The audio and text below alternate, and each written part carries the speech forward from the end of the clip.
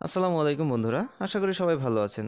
বন্ধুরা, আজকে আমি আপনাদের সামনে নতুন একটি টপিক নিয়ে হাজির হলাম। এটি মূলত আমাদের সবার জানা দরকার। যারা আমরা স্মার্টফোন ইউজ করি অথবা কম্পিউটার অথবা ল্যাপটপ ইউজ করি, তাদের সবারই জানা দরকার।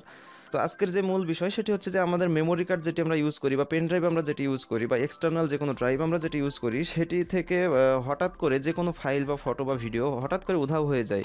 তো সেগুলো কেন হয় বা কি কারণে এগুলো হতে পারে, এগুলোর সমাধান কি, সেই বিষয়টি নিয়ে আজকে আলোচনা করব। তো এই বিষয়ে প্রপারলি জানার জন্য শুরু থেকে শেষ পর্যন্ত ভিডিওটি দেখতে থাকুন। আশা করছি ভিডিওটি আপনাদের ভালো লাগবে। আর ভিডিওটি শুরু করার আগে একটি রিকোয়েস্ট যারা আমার চ্যানেলে নতুন, তারা অবশ্যই আমার চ্যানেলটি সাবস্ক্রাইব করবেন, এটি আপনাদের কাছে আমার অনুরোধ রইল। আর ভিডিওটি যদি ভালো লাগে, তাহলে অবশ্যই লাইক করবেন শেয়ার করবেন এবং কমেন্ট করবেন। তো বন্ধুরা, আর কথা বাড়াচ্ছে না, চলুন শুরু করা যাক।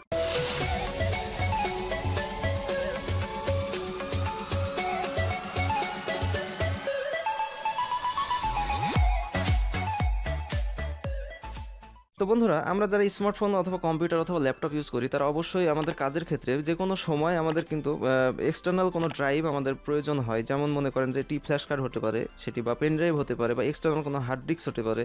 তো এই এই এক্সটার্নাল ড্রাইভগুলো যখন আমরা ইউজ করি, তখন কিন্তু এগুলোকে আমাদের কম্পিউটারে অথবা ল্যাপটপে অথবা মোবাইলে ওটিজি কেবলের মাধ্যমে এগুলোকে প্রবেশ করিয়ে তারপরে কিন্তু এগুলোকে ব্যবহার করতে হয়। তো এখন মূল যে বিষয়টি, সেটি হচ্ছে যে আপনার কম্পিউটার কিন্তু চলে হচ্ছে হার্ডওয়্যার এবং সফটওয়্যার এই দুইটির সমন্বয়ে কিন্তু কম্পিউটার একটি কম্পিউটার অপারেটিং সিস্টেম চালু হয় বা সেটি সচল থাকে।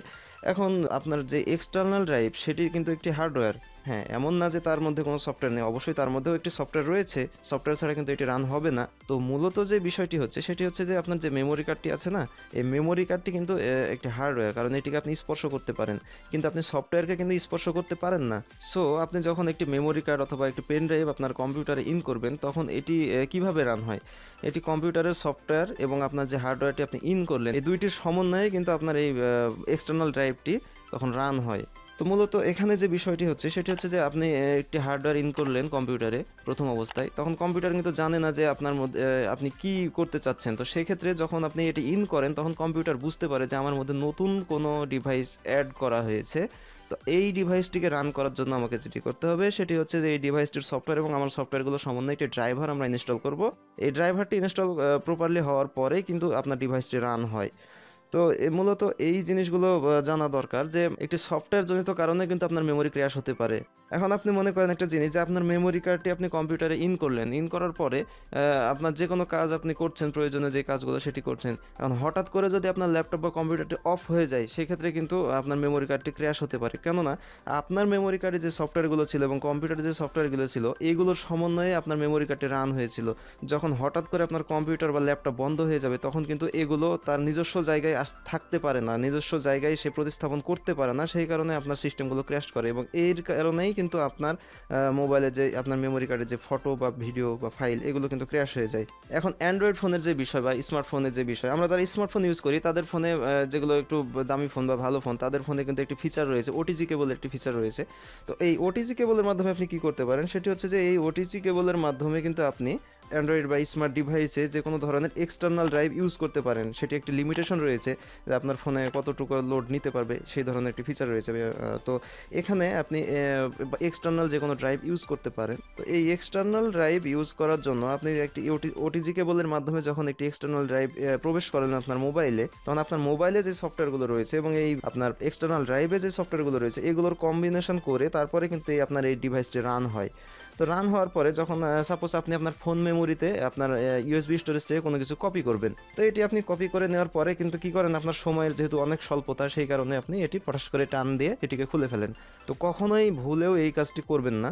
কেননা যে এই কাজটি যখন আপনি করেন, তখন কিন্তু কম্পিউটারের মতো অ্যান্ড্রয়েড ফোনও বুঝতে পারে না যে আমার মধ্যে যে নতুন ডিভাইসটি ইন করা হয়েছিল, সেটির সফটওয়্যারগুলো আমি কোথায় রাখব? বা ওর কাছ থেকে যে সফটওয়্যারগুলো নিয়েছিলাম, এগুলো ওখানে তো রাখা হয়নি। এই জিনিসটা তো অ্যান্ড্রয়েড ফোন বুঝতে পারে না। তো তখন কি হয়, আপনার মেমোরির ফাইল বা ফোল্ডার বা ইমেজ বলেন, এগুলো ক্র্যাশ হয়ে যায়। তো এটার থেকে বাঁচার জন্য যেটি করতে হবে, সেটি হচ্ছে যে অ্যান্ড্রয়েড ফোন কিন্তু অবশ্যই আপনাকে এই সিস্টেমগুলো থেকে বাঁচার জন্য একটি অপশন দিয়ে রেখেছে। সেটি হচ্ছে যে সেটিংসে গিয়ে দেখবেন ইউএসবি স্টোরেজের যে অপশনগুলো রয়েছে রয়েছে এখানে আপনি দেখতে পাবেন যে মাউন্ট স্টোরেজ এই নামে একটি অপশন রয়েছে। সেখান থেকে আপনি ইউএসবি স্টোরেজটি মাউন্ট করে নেবেন।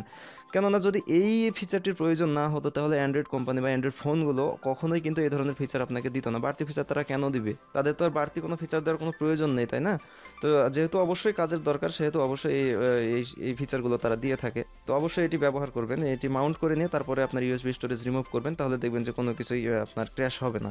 আর কম্পিউটারে যেটি করবেন, সেটি হচ্ছে যে আপনি নতুন একটি যখন ডিভাইস ঢুকালেন, তারপরে আপনি একটি কাজ করছেন, কাজ করতে করতে একটি ফাইল ট্রান্সফার করছেন। সাপোজ আপনি একটি ফাইল ট্রান্সফার করছেন এবং এই ফাইলটি ট্রান্সফার করার মাঝে মাঝে সময়ে আপনি হঠাৎ করে এই আপনার এক্সটার্নাল যে ড্রাইভ বা কথায় যে মেমোরি কার্ডটি আপনি ঢুকিয়েছিলেন, সেটিকে বের করে নিলেন। তো যখন এরকম কিছু করবেন, তখন কিন্তু কম্পিউটার বুঝতে পারবে না যে আপনি কী করতে চাচ্ছেন এখানে। কেননা আপনার মেমোরি কার্ডের যে সফটওয়্যার ছিল আর কম্পিউটারের যে সফটওয়্যার ছিল, এই দুইটি মিলেই সে কিন্তু এই ডিভাইসটিকে রান করেছিল। আপনি যখন হঠাৎ করে এটি খুলে নেবেন, তখন কিন্তু কম্পিউটার বুঝতে পারবে না যে আসলে এখানে কী ঘটতে যাচ্ছে। তখন আপনার মেমোরি কার্ড ক্র্যাশ হয় এবং ফটো ভিডিও ফাইল যা ছিল এগুলো উধাও হয়ে যেতে পারে। তো ভুলেও এই কাজটি করবেন না। আপনার যখন ট্রান্সফার কমপ্লিট হবে কমপ্লিট হওয়ার পরে আপনি চলে যাবেন মাই কম্পিউটার বা দিস পিসি এই অপশনে এই অপশনে যাওয়ার পরে আপনি দেখতে পাবেন যে আপনার যেখানে হার্ড ডিস্ক ড্রাইভগুলো শো করে, সেখানে নিচের দিকে একটি অপশন রয়েছে রিমুভেবল ডিস্ক এই নামে একটি অপশন রয়েছে। তো সেখান থেকে মূলত ওই রিমুভেবল ডিস্কের রাইট বাটন ক্লিক করে সেখান থেকে ইজেক্ট একটা অপশন রয়েছে, সেখান থেকে ইজেক্ট করে তারপরে ডিভাইসটি বের করবেন। যখন আপনি এই ধরনের এরকমভাবে আপনার এক্সটার্নাল ড্রাইভগুলো ইউজ করবেন, তখন দেখবেন যে আপনার এক্সটার্নাল ড্রাইভ থেকে কোনো ধরনের ফাইল বা ফটো বা ভিডিও ক্র্যাশ হবে না। তো মূলত এটিই ছিল আজকের বিষয় যেটি আমরা দেখলাম। তো আশা করছি ভিডিওটি আপনাদের ভালো লেগেছে। ভিডিওটি যদি ভালো লাগে তাহলে অবশ্যই আমার ভিডিওটি লাইক করবেন শেয়ার করবেন এবং কমেন্ট করে আমাকে জানাবেন। আর যারা আমার চ্যানেলে নতুন তারা অবশ্যই আমার চ্যানেলটি সাবস্ক্রাইব করবেন এবং আমার সাথেই থাকবেন। তো বন্ধুরা, আজ এ পর্যন্তই। দেখা হবে পরবর্তীতে কোনো নতুন টিউটোরিয়ালে সে পর্যন্ত সবাই ভালো থাকবেন, সুস্থ থাকবেন। এই শুভকামনায় আল্লাহ হাফেজ।